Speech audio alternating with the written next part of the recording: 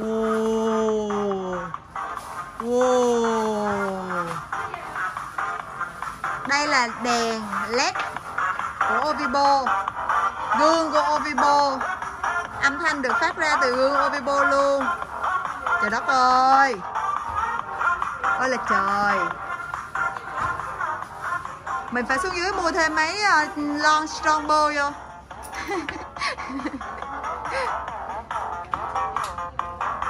anh em thấy không? Nhạc nó Nhạc nó tưng tưng tưng thì đèn nó sẽ Tưng tưng tưng, chớp chớp chớp chớp nè. Đó.